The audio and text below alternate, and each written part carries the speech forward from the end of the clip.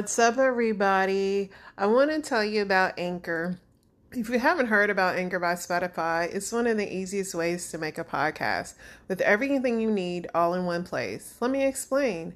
Anchor has tools that allow you to record and edit your podcast right from your phone or computer. When hosting Anchor on Anchor, you can distribute distribute your podcast on listening platforms like Spotify, Apple Podcasts, and more. It's everything you need to make a podcast in one place. And best of all, Anchor is totally free. So download Anchor, the app, or go to anchor.fm to get started. And you know, I'm a veteran, so let's hear some more military cadences.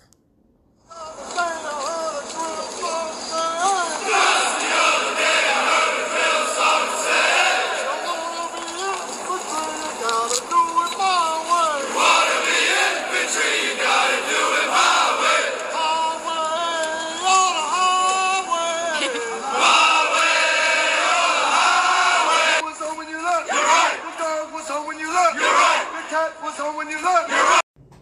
Okay, family, let's get into some hot topics, news you can lose or use. So, let's get into football. Football, the Chargers beat the Broncos 19 to 16 in OT.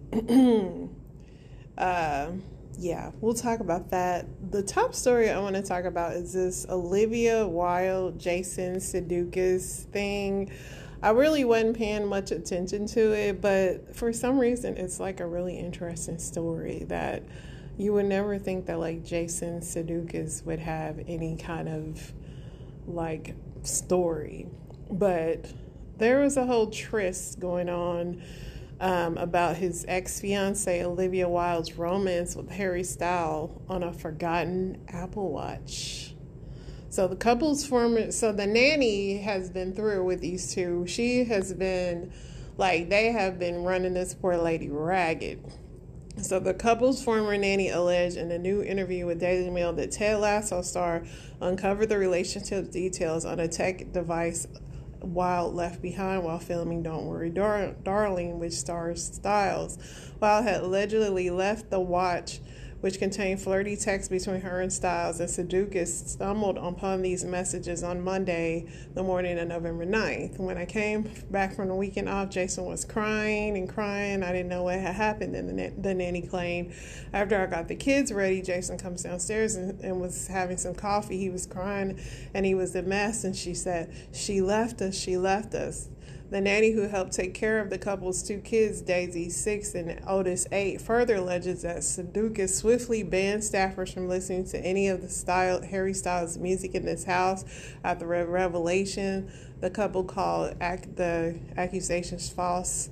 In the statement, the claimant, the former nanny who was not identified, has been on an 18 month campaign of harassing us, which I did read the nanny's text messages, which I will definitely tell you about. So the woman also claimed to the outlet that Sudeikis, 47, was completely blindsided while Wilde, 38, broke things off despite the Don't Worry, Darling director claiming their separation was amicable. He was so brokenhearted, I felt for him, the nanny alleged. He started telling me details of her relationship with Styles, and he said she put the move on him, she put the first move on him. The nanny also claims Sudeikis threw himself under Wilde's car one time to try to stop her from leaving to go see the Watermelon Sugar Singer 28, which Harry Styles. She went back into the house and he went in. It was a back and forth. He was going doing it on purpose to make her late her late going to see Harry. than any claim. Jason told me she made this salad and she made her special dressing, which she's leaving with her salad to have dinner with Harry. The special dressing is very funny. I don't know what it is, but they have the recipe. Things ultimately reached a breaking point when Sudeikis allegedly fired the child care worker. Then, when he was intoxicated, he said, You're going to get your stuff and get out. Why are you sending her messages? I said, Jason, you've been drinking and I can tell that you're drunk. You're very angry and I'm afraid of you, the nanny alleged. While Sudeikis separated in 2000, 2020 after more than seven years together by January 2021, Wilde took her love with Styles public, though she denied that she left, Sudu- left for the former One Direction member. Things turned even uglier for the exes when Wilde was publicly served legal papers in April while she was ta- talking on a panel at, at CinemaCon. Jason's actions were clearly intended to threaten me and catch me off guard, Wilde alleged though Sudeikis claimed he never intended for legal papers to be served publicly. It's just been a messy, messy mess. And that movie, Don't Worry, Darling, was supposed to have like different actors, but she replaced actors in it. It was just like a whole mess of things. And yeah. Other news Tom Brady, he's spotted out without his wedding band amid the Gisele divorce rumors, and he went to Rob, Robert Kraft's wedding. Of course, you know, he married some young, pretty thing. Um, the, the, the night show host James Corden apologized to restaurant owner who called him an abusive customer. This James Corden, as friendly as he is on TV, I hear a lot of like stuff about him out there. Um, Prince Harry and Meghan Markle's Netflix show will air in December. Um, what else is going on? Brad Pitt is dating some mystery man. Um, yeah. And Kanye West is in talks to buy Parler, which a lot of people think this was a, like, pretty much because, listen, at, at some point, and I don't feel sorry for Kanye at all, let's be clear. But um, at some point, Kanye, uh, and I'll read you about it. So, what's happening with that is that Candace Owens' husband owns Parler. Well, he's a CEO of Parler. And a lot of people are thinking that um, Candace, like, pretty much manipulated the dude into buying it, which is not shocking because Kanye, he's literally kind of out there right now um, yeah. It's just, it says Candace Owen hanging out with Kanye West and defending his racism and anti Semitism just so Kanye would buy her husband's failing social media platform is a reboot of Ocean's Eleven and that I didn't know I wanted. Um, and then Kanye talked a lot of trash about George Floyd's family, and his family is considering a lawsuit. Um, yeah, I mean, Kanye, at some point, I don't know if someone can get a power of attorney over that man. I'm sure Kim probably could because, you know, that's her child's future, her child's money that she probably wants to take a hold of. They are making a new Twister movie. I don't know if you can really redo the original, it was pretty good. I mean, sometimes when they redo stuff, it doesn't come out right. Seeing if there's anything worth talking about. They asked if you were at a barbecue and you had a choice between Sunkist or Fanta, which one would you choose? I don't like orange pop, and they're both of their orange. But if it was a, if it was cherry, I would definitely choose Sunkist. Um People are still talking about Selena and Hailey hanging out.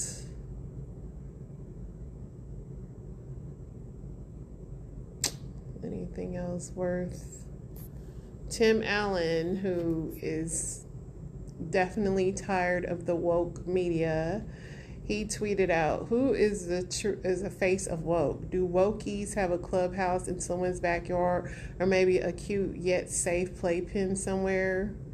And a lot of people were like, remember that time Tim Allen avoided prison for selling coke by diming out all his friends? So, yeah, Tim Allen allegedly sold coke and was going to get in jail. Uh, but he ratted out some people. Somebody said Tim Allen, a product of white suburbery, ratted out his drug trafficking colleagues in exchange for three years rather than life. Called Republicans who testified at January 6 hearing rats that cowardly smartass wouldn't have lasted a day in Chicago neighborhood clubhouse. And this is from Gary Ray Betts on Twitter.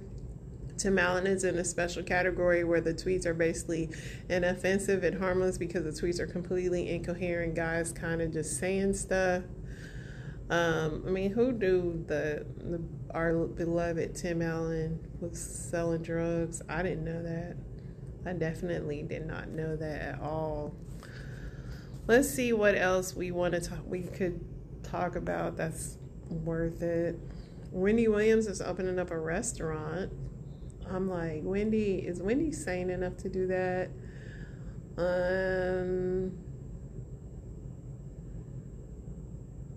yeah. Rebel Wilson cozies up to her girlfriend. I did not know she was out of the closet. Yeah, that's literally it. I'll check one more news source source before we get into our beloved TikTok stories, and I have some funny ones tonight, some interesting ones, and some funny ones tonight. Let's see. Let's check this out here. See what if it's in worth anything talking about. What's the cheapest thing someone can buy you that would make you happy? Mm-hmm. Warm bread. Warm bread or some gummy bears. I love some Haribo gummy bears. Um, Superfly actor Kaalan Walker was sentenced to 50 years in prison after being convicted of raping teens and women. And so they did a Superfly reboot and the guy that played in that movie was sentenced to 50 years for raping, for rape. It's wild. Absolutely wild. Mm-mm-mm. One of the singers that he allegedly raped was the singer Kehlani. Um, yeah. That is wild see what else is going on. That we would even want to talk about. Missy Elliott gets a street named after her in her hometown, much deserved.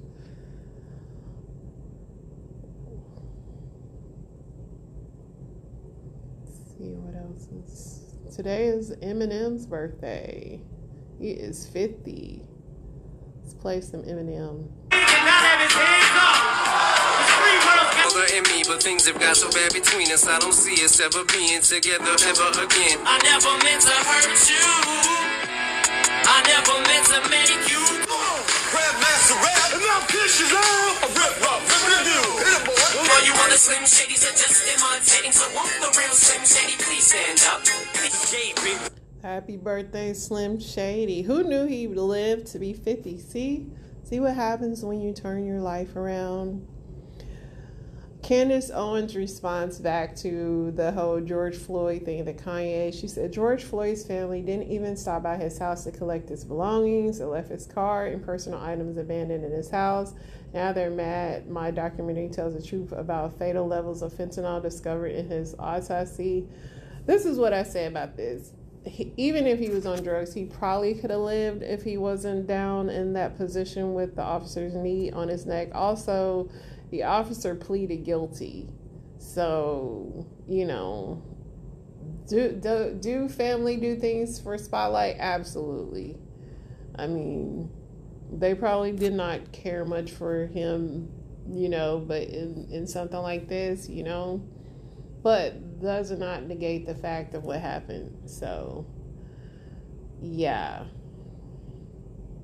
What else is there to talk about? LeBron's son, Bronny, has made a deal with Beats by Dre.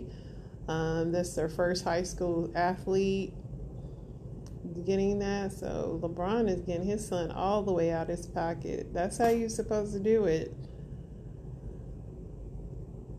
Madonna's dancing on TikTok. Madonna, she is living her best life. She got a BBL and everything. Mean, how can you not love that? California becomes the first state to plant to ban plastic bags.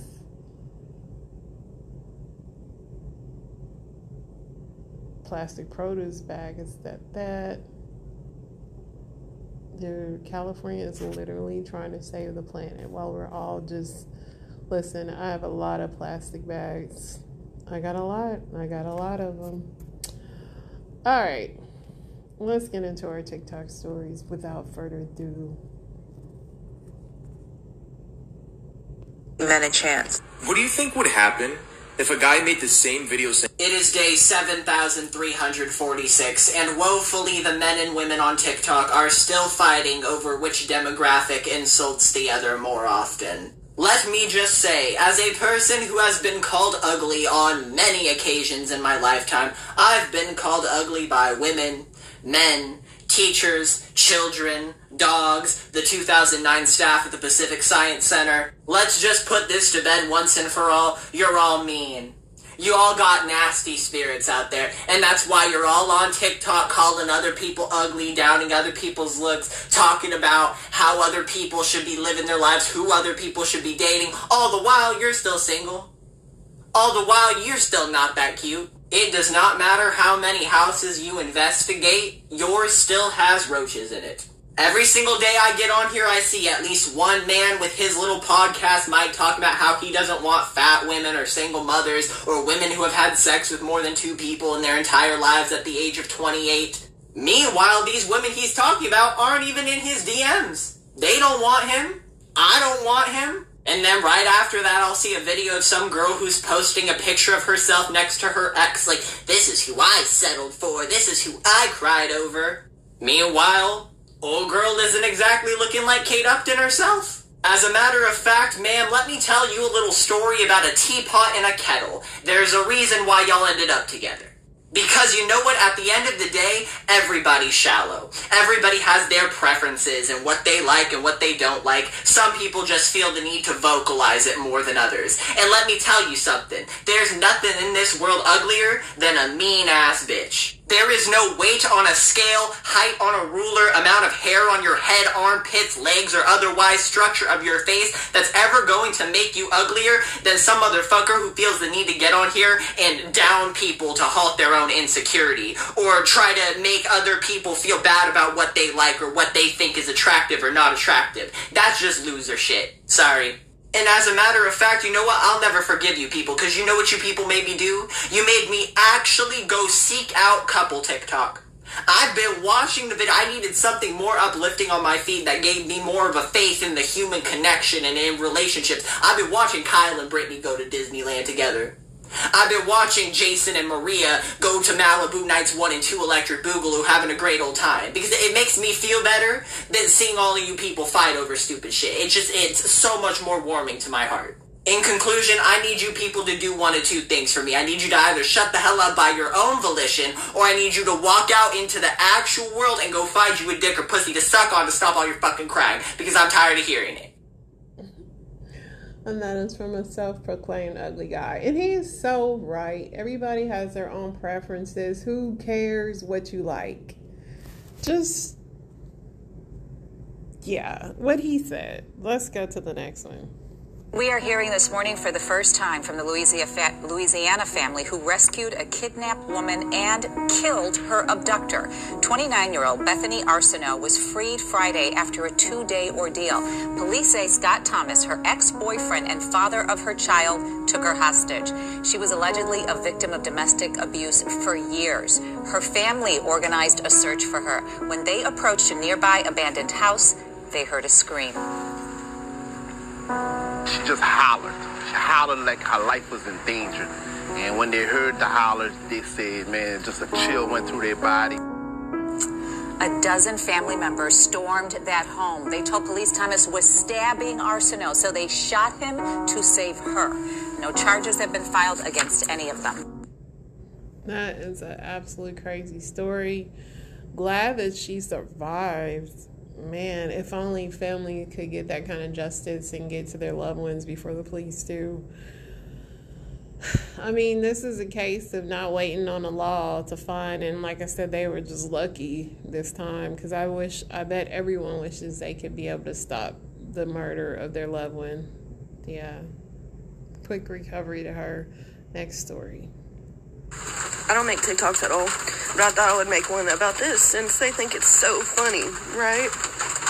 Okay, so apparently my man, who I have been with for the past six years, have two kids with, who is my baby daddy. I got some money from income tax, so he got back with me. Yeah. Okay, so then tonight we've been back together for a minute now. Tonight he decided to tell me that he loved me, all kinds of other stuff, and then wanted to text me after I fell asleep and tell me that he's been talking to someone else. Waited till I was asleep. Then they think it's so funny that she messaged me here on TikTok and was like, Girl, I think you should leave our man with a laughing face, with a crying laughing face. Yeah, it's so fucking funny, isn't it? Yeah, let me let me show y'all proof.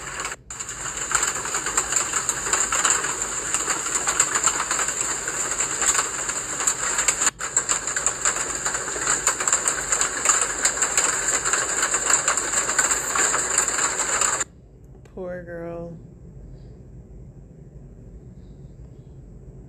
Tell me about the most heinous thing a man has either said to you or a woman in your presence. So in my sophomore year of college, I was friends with benefits with this guy, um, and we were fuck buddies my freshman year of college. Spent all summer talking to each other, and then we go back to school. So we definitely were not romantic. I, we both knew that, I think. But I really thought that we were friends with benefits. We were in the same friend group. We hung out a lot. We got along really well. Um, it was just a very casual and convenient of a dynamic, and I was pretty happy with it. So it's the first big party back at school, and afterwards we end up leaving together. Um, we're both pretty drunk, but it's all very standard. We've hooked up many times before.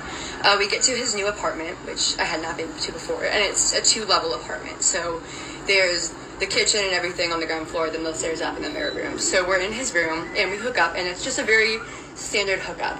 Uh, the one thing that is weird is that I ask if he has a condom because we use protection every single time, and he's like, no, I don't have a condom. I'm so sorry. He does a show of like going through all the drawers and he doesn't have anything. And he's like, I haven't hooked up with anyone since. I'm super safe. Blah blah blah. Um, this is a poor judgment call on my part. I'd never had unprotected sex before, but I was pretty tipsy and I wanted to do it, and I was like, okay, I trust you. So we have unprotected sex. Everything's fine. It ends. Um, and then right as we finish having sex, like I am still butt ass naked on his bed. He hears his roommates come home downstairs and he's like, hey, I'm gonna go say hi to my buddies. And I'm like, sure. So he trots on downstairs. And when he does so, he closes the door, like kind of slams it shut, but it bounces back open. So the door is kind of open. And I'm lying there naked on the bed. And I'm like, do I get up to go and close the door? Not really sure because I don't want anyone to possibly see me naked. So as I'm starting to like pull my clothes on because I'm gonna go come hang out with them too, I'm also friends with his roommates. Uh, he starts talking to them about the sex we just had in graphic detail. Um, and not just in graphic detail, like very disrespectful. Like this bitch let me raw her, and they're like, you didn't use a condom, and he's like, no, like I had one, but I told her I didn't. Um, which is obviously sexual assault. Um, so I'm getting really shocked, and he just says more and more degrading things about me. And finally, I'm like, I'm done. Like, I'm, I, I start immediately call myself an Uber, put my clothes on, and I'm sitting there waiting for the Uber to come. This man will not shut up talking about me in a very disparaging way. So when the Uber's I'm in OA, my clothes are on, I just start walking downstairs. And right as I'm walking downstairs, tiptoeing because I want to fucking sneak out and not have to see them, he goes, "Hey, sorry boys, like there's some pair of titties waiting upstairs for me." And I like wave to them and I go, "Hey, actually the titties are down here right now." And then I walk out the door and I got in the Uber and I left. Yeah, guys, if you like, and this has been talked about before, if you lie about having a condom or taking one off, yeah, in this in this age of 2022, that is considered sexual assault. So, ladies too, like if you sneak in the condom off, which I don't know how a man can like think that feel not feel that, but it happens. So, you know, sorry to this girl, young love, young sex, young F buddies. You know, it happens. Sorry to this girl. Next story. Actually, that was just a bear attack. Don't worry about that. But anyway, this has been the end of news you can lose or use. Uh, yeah, bring your own condom. If you're gonna be F buddies, bring your own condom. That's what I would do if I was an F buddy. Because if you're F buddies, that means you're having sex with people, he's having sex with people. Yeah. It's just a smart idea to do that. Other than that, guys, we'll see what happens in this crazy world tomorrow or next week. But I will definitely be back with you for some messy TikTok and news. See ya.